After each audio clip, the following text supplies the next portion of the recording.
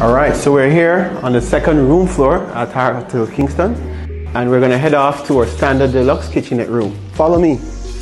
All right, key features of this room category is the kitchenette.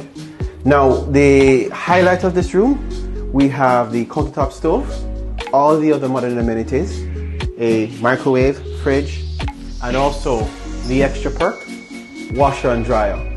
Where else in Kingston do you get a washer and dryer combination in your hotel room? Nowhere else but R Hotel Kingston. All right, let's head to the main area. All right, so this is your room space here. Definitely one of the bigger standard rooms in Kingston. Um, it's a king bed, and also one important point I want to point out is the artwork and the furniture. All of this was locally made.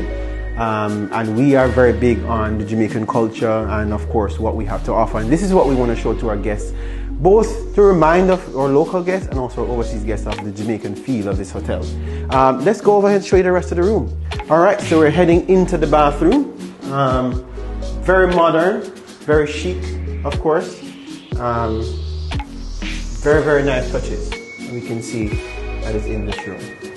So this is another uh, room category we have that is ideal for the modern traveler, the business traveler, the leisure traveler who wants to stay for, let's say, a week, two weeks, especially members of the diaspora who are overseas and they want to come back to Jamaica to visit family, to, to maybe do business, purchase a home, retire. This is a unit that they can come in, stay, do business, and be comfortable.